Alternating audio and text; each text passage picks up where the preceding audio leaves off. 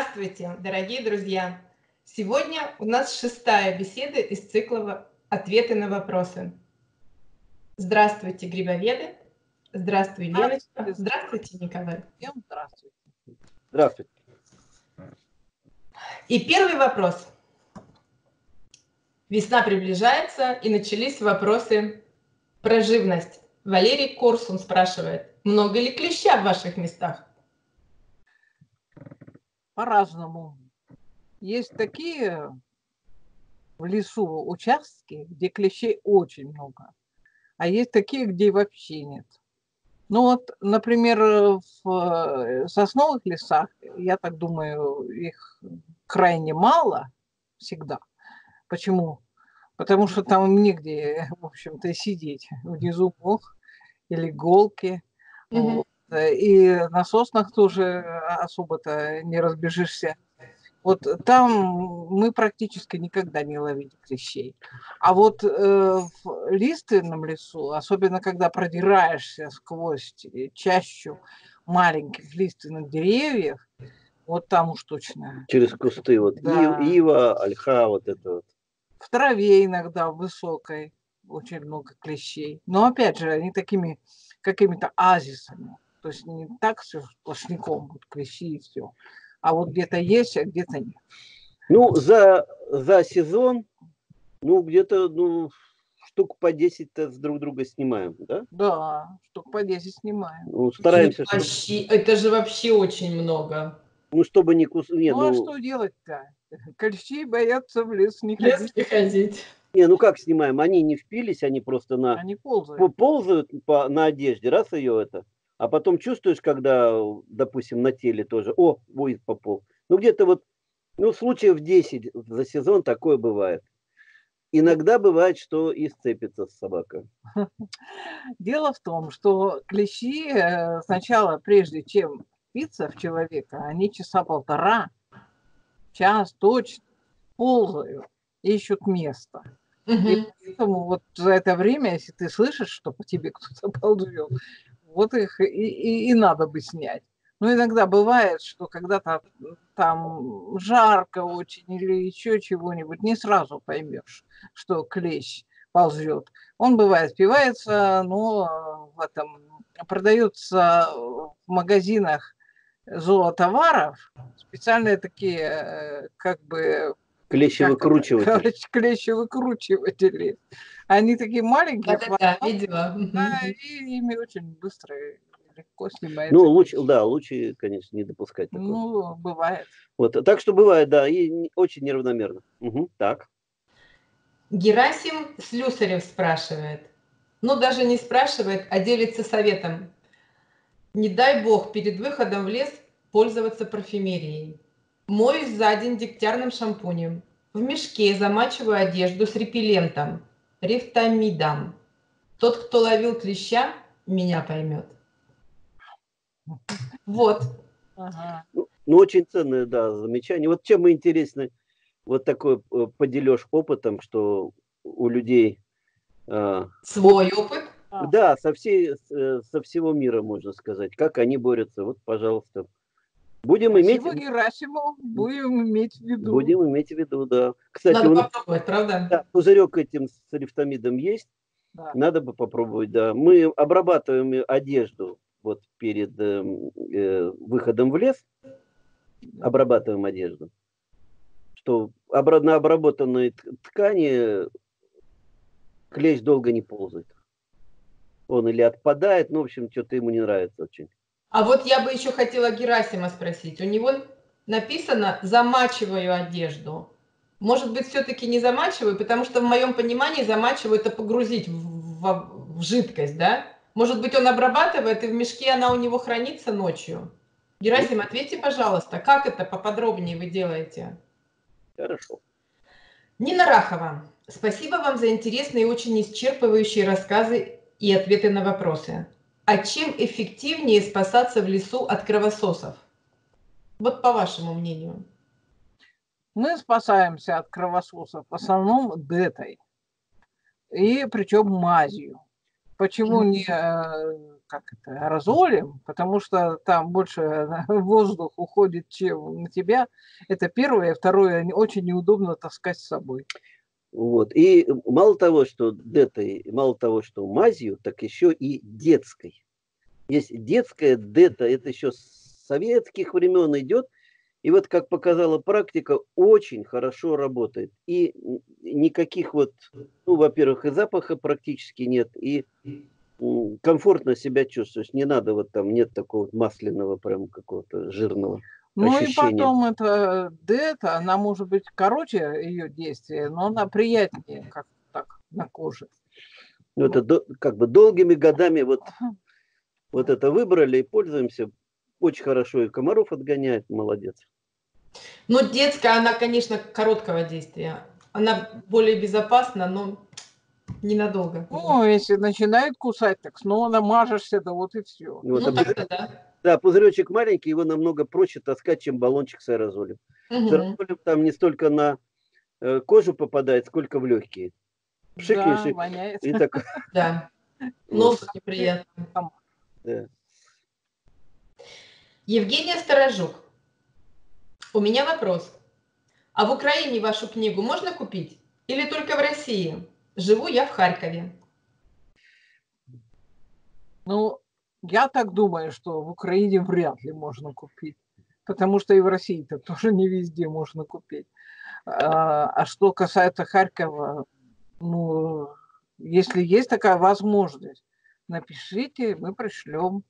Вот. Ну, тут ситуация какая, что книга поступает в основном а, в сеть Вологодской области. Есть такая книжная сеть Питер Пен.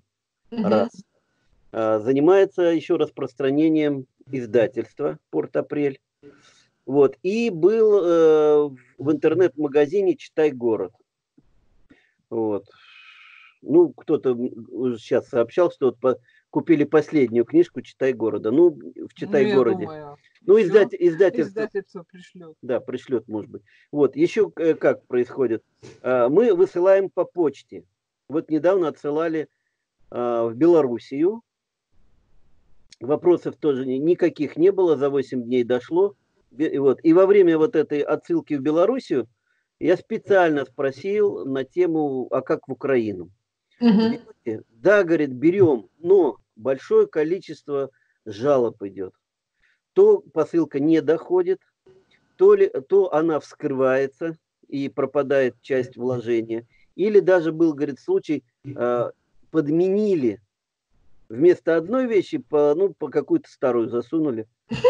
Ну, вот. я не думаю, что наша книга пользуется такой популярностью, ну, что ее воровать. Вот, это вот, это, это говорили вот работники почты, так что мы вас предупредили, а вы уж на свой страх и риск. Так что, наверное, можно, да, ну, на, может быть, подумать о другой какой-то системе перед. Вот. Может, просто книга почты. Ну, единственный еще вопрос, что за границу очень дорого. Да. Ну вот в Белоруссию, допустим, это было одна только пересылка была дороже книги в два с половиной раза. Вот. А вы что? Да, точно так же, как и в Австрии. Вот в Австрию отсылали то же самое что дороже книги вот больше, чем в два раза. Дело в том, что вот э, там, когда Белоруссию отсылали, он сразу попросил этот товарищ несколько книжек. Четыре штуки. Четыре штуки. Вот тогда как-то вот... Как-то не очень дорого получается, да? Вот. Ну так это слишком сурово. А да. А четыре вроде как еще и ничего. Вот, ну вот, вот про Украину вот такая история, что почтовые работники вот предупреждают о возможных эксцессах. Тут, тут мы сейчас тоже в раздумьях, непонятно. Хорошо. Так что, Евгения, думайте, решайте сами. И вот она же, Евгения, задает второй вопрос. Часто говорят, что травятся грибами опытные грибники, именно опытные. Но вы всегда пробуете, Елена. Не боитесь, нет?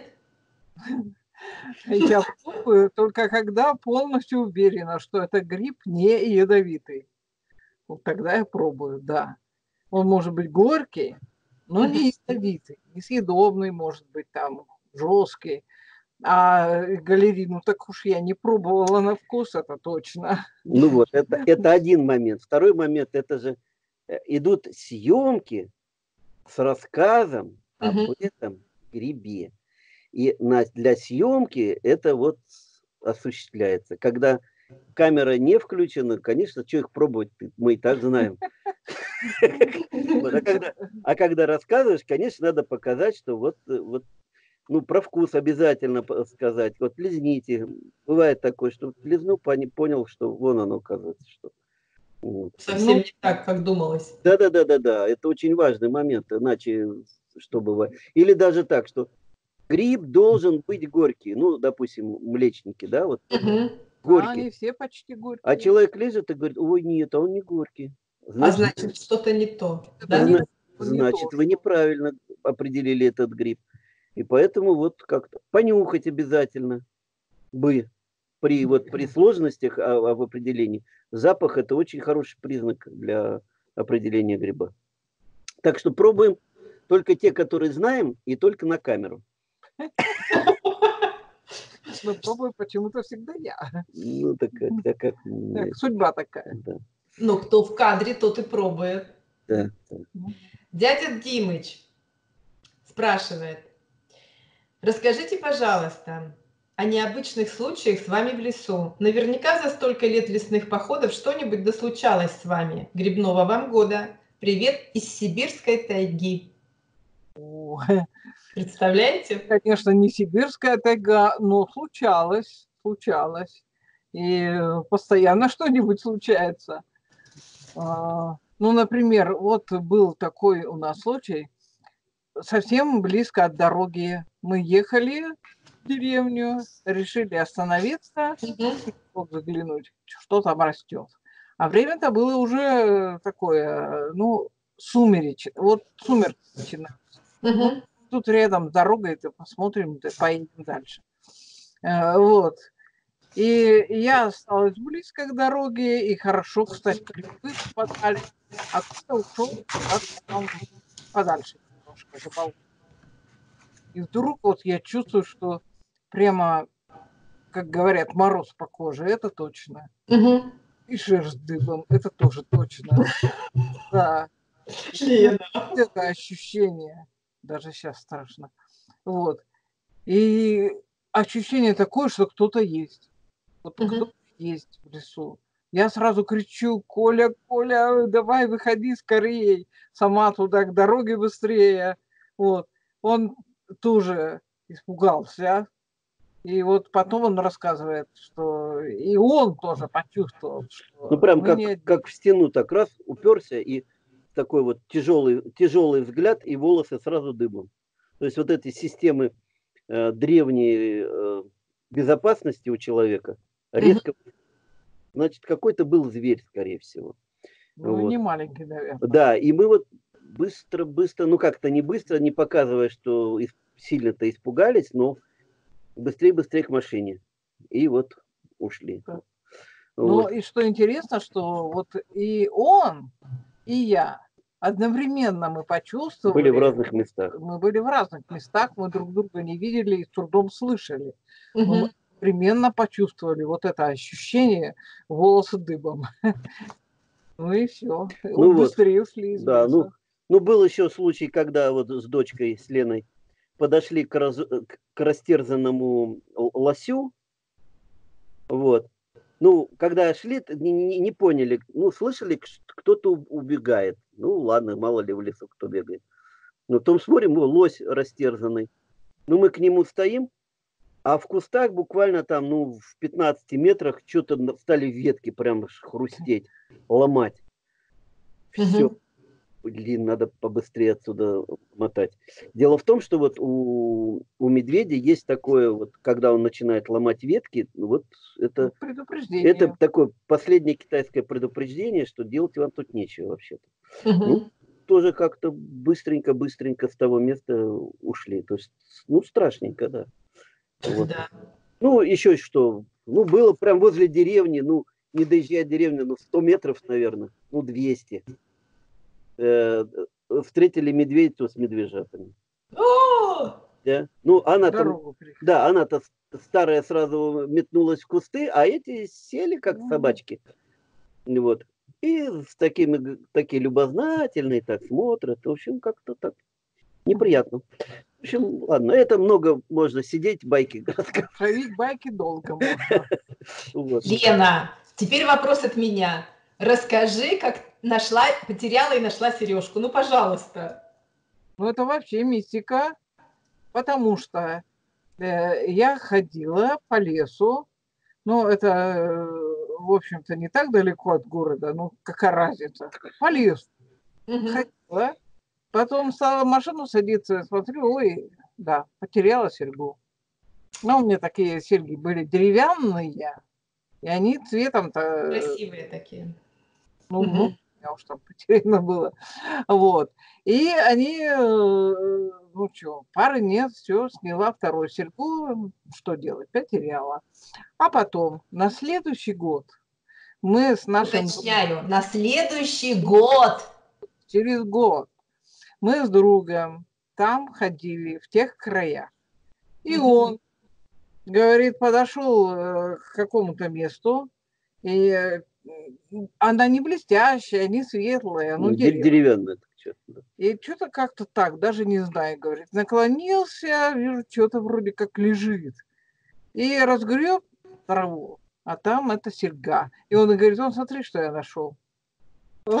Ничего себе, это моя сережка, она пролежала год, немножко облезла, конечно, но тем не менее, вот э, в лесу через год деревянную маленькую деревянную серьгу. маленькую серьгу нашел человек. Мистика. Да, ну, а, ну таким же образом ножи. Ну, там еще. Ножи, ножи потерянные.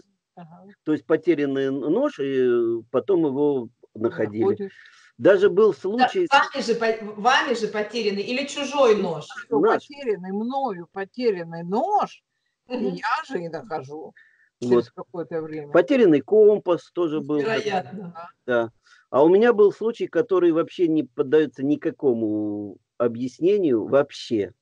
Угу. Я потерял нож в одном да. из э, лесных массивов. Вот. Ну, поискали, поискали. Поискали, не нашли. Я, ну, как ходишь, ну, обычно как, грибы нашел, за это воткнул э, ножик в землю, пока то все, потом поднялся, ушел, и встрепенулся, о, ножа-то нет, елки-пал, где же войска? Ну ладно, потерял и потерял, уже смирился. А это был подарок. Ну, вот. Поехали в лес. В другой. В другой совсем в лес. Э, уже ну, где-то, наверное, ну, неделя прошла, да, наверное. да, да, даже может больше недели. Вот. А, остановились, машина, все, пошли. И прям на тропинке такая э, начинающийся этот муравейник. муравейник. И в муравейнике лежит такая золотяшка, как конфеты. Кто-то угу. ел, и золотяшка такая. Я так про себя. Вот надо же, э, муравьи на новом месте начинают э, муравейник, и в основу положили золотинку. Надо убрать. Беру эту золотинку, батюшки, а это ручка моего ножа. Она блестящая, такой наборная ручка, подарок из, из югов прислали, ну, привезли. Вот это вот вообще до сих пор я не могу понять. То, что потерян, потеряно был в одном лесу, совершенно в другом. А в этом лесу найдено. Но как он мог туда попасть? Ну, не муравьиш принесли, правильно? Было даже такое, может быть, типа сорока любит блестящие вещи, она взяла, несла, несла, несла клювом и э, уронила, а мы именно в это место уроненного ножа и приехали. Да. это, это вообще невозможно. Ну, такие случаи вот. много их. Вот так что вот такая мистика, это просто... Это да, да. Ну, лес это мир загадок, тут столько всего было. Хорошо. Катерина Волга. Уважаемые грибоведы, видела ваше видео о жарке на углях грибов-зонтиков. Знаю, что они прекрасны в сушеном виде. А можно ли их солить, мариновать или делать грибную икру на зиму? Или этот гриб не подходит для подобных заготовок? А если подходит, то как получается вкуснее? Заранее спасибо. Честно скажем, мы не пробовали ни солить, ни мариновать зонтики. Но из литературы знаем, что вроде маринуют. Мне кажется, что зонтик не очень вкусен будет. Потому что сварить его надо, чтобы замариновать, да? Угу. Когда мы варим из зонтиков суп, да, угу. то я варю в, основ, в основном из сушеных зонтиков. Угу. А вот из свежих, из сырых, ну, они какие-то квелые, вялые получаются, некрасивые, раскисшие. Угу. Кажется, что солить смысла нет. Грибов всяких много растет. А мариновать, ну, не пробовали мы, не знаем. И желания не испытывали. Вот, ну как, э, маринуют э, не раскрывшиеся вот эти шарики. Но шарики у... Они большие. Они же огромные. В какую банку это надо засовывать? Да. Наверное, какая-то должен, должна быть какая-то другая технология. Ну, есть что, маринование на, на зиму, и есть маринование сразу поесть, сразу поесть да, для, на банкет, вот так угу. селедочку замариновать. Красоту. Да-да-да-да. Если вот чтобы сразу поесть, то может быть, да, вот эти шары э, как-то можно приготовить. Ну, читали мы у Владимира, э, у Михаила Вишневского, вот, что он делает, ну, как бы рекомендует мариновать, там есть какой-то, но сами не пробовали. Потому что шариков найти тоже. И с шариками какая сложность? Эм, э, сбор шариков, мало ли что может. Хотя, хотя вряд ли, я ну, думаю. зонтик э, пестрый очень трудно с чем-то спутать. Они очень да, крупные. Ну вот, так что не, не делали. А вот суп из сушеных зонтиков. Ой, как вкусно. Аромат стоит такой, что соседи давятся слюной. Ирина Дядечко, еще раз хочу поблагодарить вас за то, что вы делаете. Из множества других каналов на YouTube именно ваш смотрю регулярно. Ваши фильмы всегда наполнены теплом и уютом. В этом выпуске вы упомянули «Зеленушку». Так вот, хотелось бы узнать про нее подробнее. Я знаю, что ее в наших местах собирают, но сама никак не могу решиться. А теперь еще начиталась, что ее отнесли к ядовитым, и она вызывает э, раб Домиолиз. Что вы думаете по этому поводу? Еще раз наберусь смелости предложить вам идею путешествовать по разным регионам и делать фильмы про местные грибы. Что касается зеленушки. Дело в том, что было несколько случаев смертельных на юге Франции. Но ничего не пишется и не говорится о тех людях, из какой они местности, рода, и какой они расы. Э, потому что, например, э, некоторые народности вообще не едят грибы, у них даже нет фермента для их переваривания. Вот что далеко ходить, вот у нас на севере живет народность Саами, угу.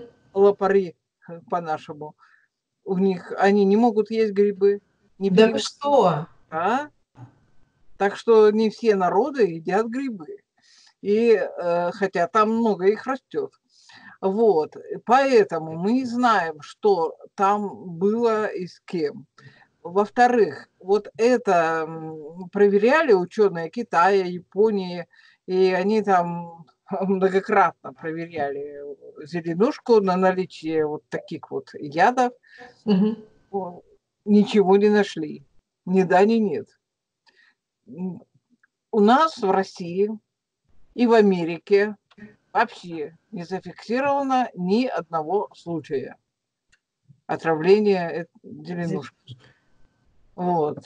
Поэтому, судя по тому, как, вот, скажем, черный груз считают тоже ядовитым, там, он мутагенный, но чтобы что-то ощутить, надо съесть его за раз 30 килограммов.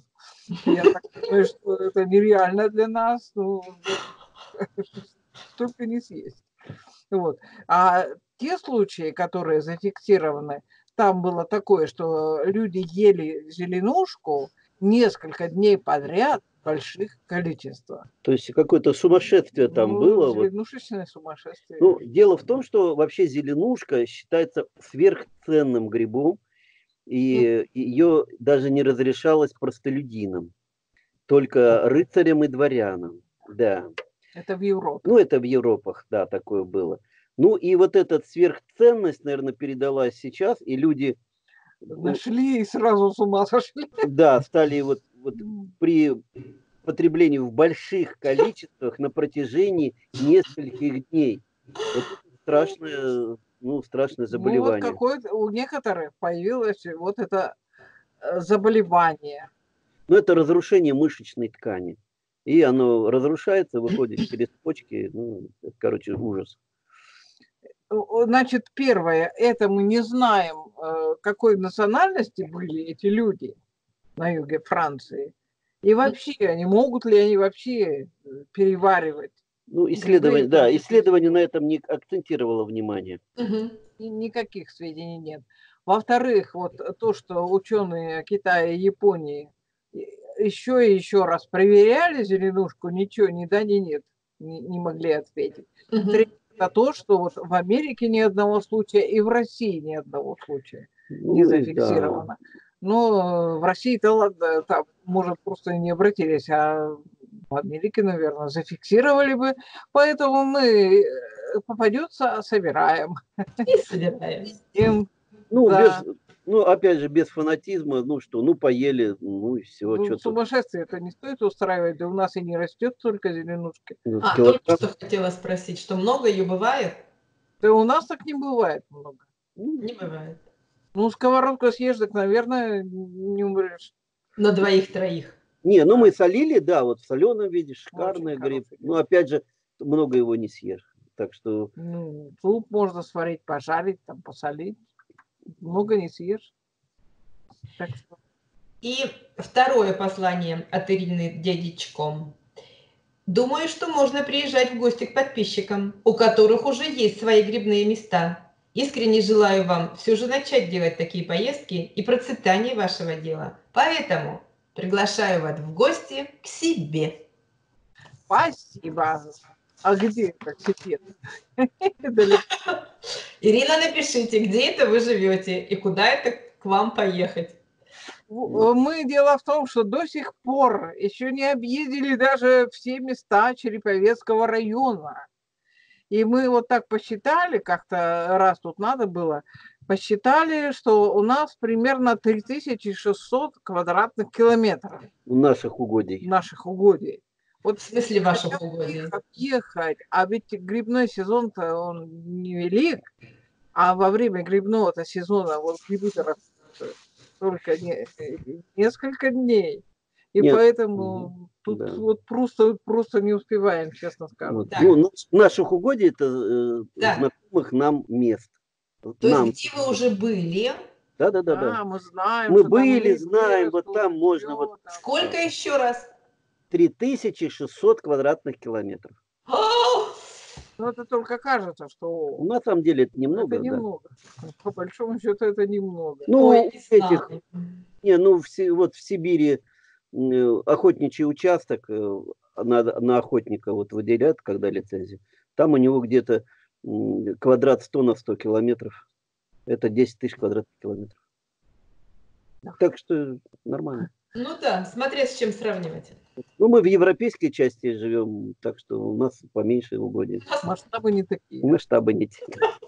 Так вот, чтобы объездить, у нас не хватает времени, а, а потом, чтобы по, поехать куда-то, это ж только канители, это же надо, ой, прям даже трудно даже это представить, что нужно. Это надо ехать, это в незнакомые места, встречаться. Это неделя. Как минимум, это, да. Как минимум. И да. потеря, потеря этого а. вот для своих каких-то. Ну да. А когда грибы растут, там каждый день на счету. Вот, ну, жаж, конечно, жажда есть. Такая. Жажда есть. Будем говорить. Хочется. Следующий вопрос. Фамилию мне не прочитать. Авет его зовут. Думаю, что это он. Здравствуйте. Скажите, можно употреблять грибы в пищу, если они выросли рядом с ядовитыми грибами? Конечно, можно. Конечно, можно. А страшно человеку? Ну, сразу говорим, что мы разрешаем. Не, ну таких, можно. да, таких не, не обнаружено вот э, заражение токсином, допустим, съедобного гриба, если рядом стоящим там той же бледной поганки. То есть не происходит ничего. А уж если э, белые, если, а если красные мухоморы, так они, они вообще они вот вместе с, с белыми иной раз растут. У них вот какие-то совместные грибницы. ну, ну как-то совместно как, ну вот, ну вместе, прям на одном месте, да. На одном месте. Да, такие встречаются. Так Но... что никаких переходов токсинов через грибниц не обнаружено. Ни поверху, ни по Нет, мы... Даже в одной корзине, если рядом полежали, и то ничего не будет. Ну, лучше этого не делать. Ну, ничего не страшного. Ольга Афонина.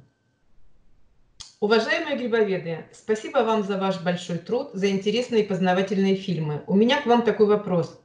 Когда делаешь холодный засол млечников, при повторной закладке грибов через день или два, досаливать ли последующие слои грибов и как? Не пересолим? Ну, если на взгляд солите, то ничего хорошего тут ждать нечего, потому что можно не досолить, можно пересолить. Угу. Мы этим пользуемся, потому что ну, сразу ведро не, не засолишь или бак. Поэтому добавляешь чего-нибудь, как-нибудь.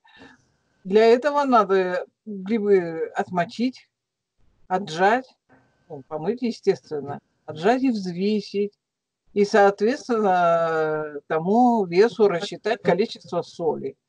Мы кладем где-то 50-40 грамм на э, килограмм отмоченных грибов. Ну и когда рассчитаем количество соли, вот эту вот соль э, нужно тоже отмерить, каким образом взвесить или ложками, как у вас получится. И равномерно посолить новый слой грибов. Да, новый слой грибов, потом, естественно, тряпочку положить, потом загнетку, потом гнет и так далее. Ну, короче, от, отмоченные грибы взвешиваем, отмеча, отмеряем соль, в отдельной посуде смешиваем э, грибы с солью и закладываем... И смешиваем потом слоем, уже. Да, слоем в, этот, э, в, этот, э, в это ведро. Если просто грибы туда без соли, так что получится? Если мы отмерили угу. э, все как положено, предыдущее. предыдущее, но количество грибов увеличивается, а количество соли в ведре остается прежним. В результате что? Получится наоборот, нет недосол. Угу. Это вот на глаз, ну, можно просто ошибиться. Лучше а, не надо. Да. Мы... Много раз пробовали.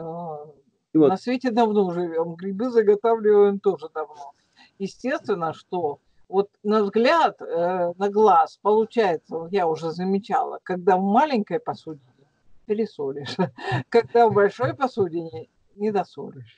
А, вот, вот как еще. Да, так, ну потому что вот такое у нас так устроено зрение, да, что кажется, что вот мало-мало. Вот, соли было побольше вот. надо. Да, вот и для этого, для того, чтобы получать гарантированный результат, надо использовать весы. Все. Угу. Вот мы определились для себя, что вот этот диапазон соли от 40 до 50 грамм вполне достаточно для того, чтобы и грибы были вкусные и хорошо хранились. Потому что когда меньше, они могут закиснуть. Они, может быть, вкуснее будут, но они могут закиснуть. Они не будут долго Не, не так долго храниться. Да. Когда больше, ну, уже пересол, конечно, Придет, приходится вымачивать там и угу. тогда говорите. Вот. Так что добавляем, конечно, соль обязательно. Но по мерке. Но Все по взвешиваем. Весу, да, да, да. Циник спрашивает. У меня к вам такой вопрос. Вы в своих материалах про заготовки, даже в случае появления плесени при долгом хранении грибов, просто промываете продукт, либо обновляете загнетку. На ютубе я столкнулся натолкнулся на лекцию Вишневского, где он категорически запрещает употреблять такие продукты даже повторной обработ... после повторной обработки. Здоровье нынче дорого стоит, ну и грибочки жаль. Что вы можете сказать? Привет вам из Иванова. Мы можем сказать, что мы такие грибочки употребляем. Это делаем потому, что э, это традиция. Дело в том, что раньше грибов, грибов солили много бочками, кадушками. Ну что раньше? Это как раньше? Это это сейчас. Не 200 лет назад, это вот сейчас. Это вот родители, например, многих э, грибников, которые раска- жили раньше в деревянных домах, они, естественно, в погребе или под И я помню. Да, целый это, был, это же еда, это не угощение. Да. Это не деликатес, это не баловство, это еда. Поэтому там плесень, в общем-то, и могла появиться, особенно к весне. И бывало. И бывало. И много раз э, было такое вот, э, ну, если мало ли чего там, угу. появится плесень. Снимает, загнет какую-то тряпочку. Если мало, промывает тряпочку. Если много, новую кладут. Снова загнетают. Если воды мало, добавят водички соленой. Но, во всяком случае, плесень присутствовала много, много где. И не только в грибах, но и квашеная капуста, или там соленые огурцы. Да. Или моченые яблоки даже. Ну, есть даже такое, есть даже такое понятие, как э, мытье кружков. Да, есть. Да. Пошла э, кружки мыть. От чего мыть-то кружки? А потому что вот он, когда кружком придавлено, сверху гнет, все равно какая-то вот э, да. пленочка есть. Вот это от, отмывается, делается. Но это вот народ вот таким образом. Мы видели, читали эту, э, как, эту лекцию, лекцию смотрели, да. да. Ну вот такое ощущение, что ну, народ как-то жил все эти века. И, да, наверное, и все живы. Наверное, это вредно, но ну, насколько вредно, ну... непонятно. Здесь еще ведь важен момент какой. А какие виды плесени да. там образовались, образуются? Да, ведь этих э, микроскопических грибов плесневых гигантское количество. Среди них есть вредные, а среди других есть и полезные. Те сыры, же европейские сыры. Дрожжи. Ну, с ну, евро... дрожжи, ладно, ну сыры с Евро... плесенью. Да, сыры с плесенью уже даже в магазинах Европа. продают. И никто так. не говорит, что они плохие. Там. Да. Ну, поэтому мы к этому относимся философски. Для того, чтобы у нас не росла плесень, мы уже, когда перекладываем грибы, смачиваем водкой. Я в этом году была водка, так смачивала и тряпочки в баках, когда грибы солились. Конечно, там плесень уже нет или очень мало. Но это, как это, если водки не жалко, то можно... В общем, вот, такая, вот такой взгляд на эти вещи. Вот. Ну, наука, конечно, не стоит на месте, что-то выясняет, изучает. Ну, вот. Слава богу, пока мы живы. Вот интересный вопрос. Андрей Кульжик спрашивает. Какие грибы нельзя употреблять с алкоголем? Расскажите, пожалуйста. Самый первый это навозник серый. Это уже точно совершенно. Угу. Вот. Потом говорушка булавоногая и говорушка перевернутая. Но их и так-то не больно-то едят, конечно. Угу. Так, э, тоже их не стоит употреблять алкоголем. И еще э, чешуйчатка обыкновенная или чешуйчатка чешуйчатая э, тоже при употреблении с алкоголем может вызвать отравление. Опять же, может вызвать, может. потому что есть такие сообщения, что иногда вот она дает такую реакцию, а иногда не дает. Причем исследования показывают, что а непонятно, какое там активное вещество действует на эти вещи. Ну, непонятно. Да. А вот, э, вот этот серый навозник, да, это стопроцентно работает. Его вот как раз используют в качестве отворотного зелья вот, от алкоголя отворотного раньше говорили, ну, я не знаю, сами мы не проверяли, потому что люди не пьющие, но крестьянки раньше подсыпали порошок вот этого навозника ну, или серого, просто. или варили его, или жарили. И э, во время, например, летних полетных работ, и когда навозники растут, давали своим мужьям. И это такое стопроцентное средство, что все. Все. Больше алкоголя не стоит употреблять. Что бы я хотела, чем бы закончить, какой бы был последний вопрос на сегодняшний день? Красная вишня. Вы так уверенно разбираетесь в грибах, у вас специальное образование и любимая помидоринка спрашивает. Вот тоже хотела задать этот вопрос. Так уже вроде. Ну, да, было, было, было, но тем не менее снова спрашивают. Ага. У нас нет специального образования. Я по профессии музыковед а, и филолог, а Николай психолог. Вот. По образованию, вернее, если судить. Грибами занимаемся, мы смеемся вдвоем больше ста лет. Если собрать наш гриб. Собрать все вместе. Да. Э, сначала просто интересно было, а потом как-то вот стали изучать. И чем дальше, тем сильнее залезаем в это. Э, и приходим к выводу, что тема очень обширная, совершенно неизученная. До сих пор там какие-то невероятные открытия в этой сфере происходят. Угу. У нас э, интерес не столько научный, сколько практический, наверное. Да? И свой канал-то мы затеяли для того, чтобы людям свои знания передать. Объяснить, что очень часто бывает такое, что э, столько грибов вокруг растет, столько хороших грибов, а люди не знают и не собирают. Mm-hmm. Или э, собирают какие-то, по, ну, грубо говоря, поганки, которыми травятся. То есть те грибы, которые ядовиты, их тоже надо хорошо знать в лицо. Угу. Тут был вопрос, что это я все пробую. Я не буду поганки, ну, не, поганками называют то, что не знают, все называют поганками. Я не буду ядовитые грибы пробовать, это точно. Но э, для того, чтобы это знать, надо... Со всех сторон.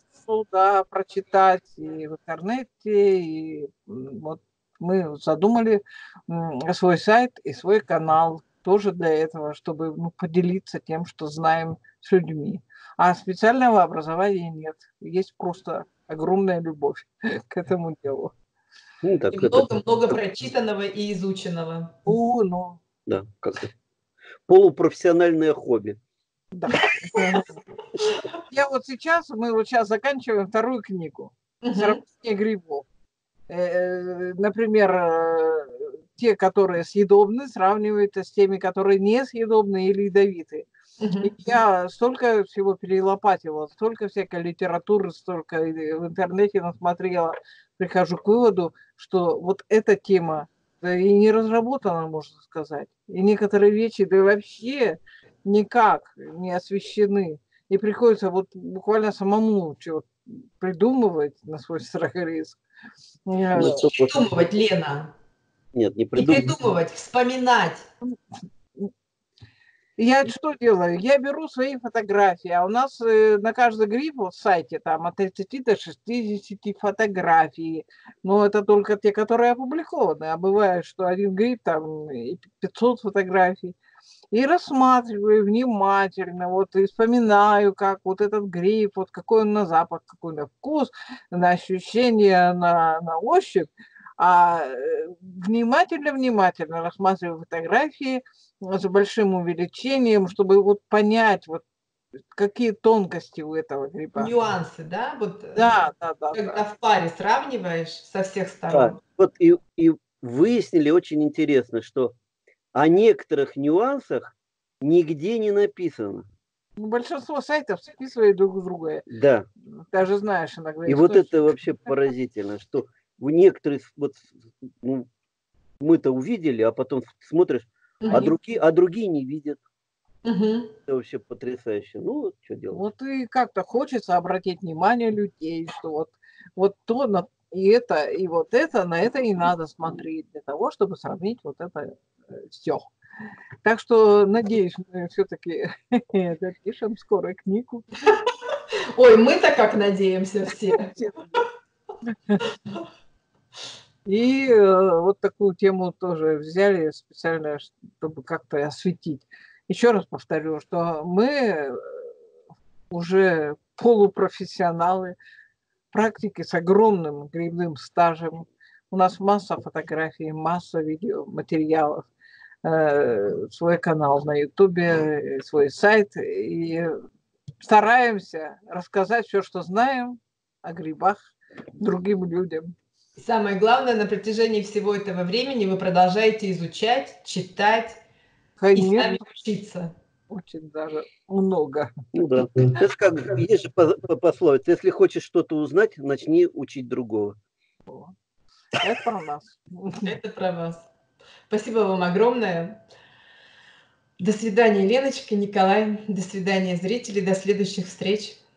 До свидания. До свидания всем. Задавайте вопросы. Будем на них отвечать. Ну а сегодня прощаемся с вами. Всего хорошего.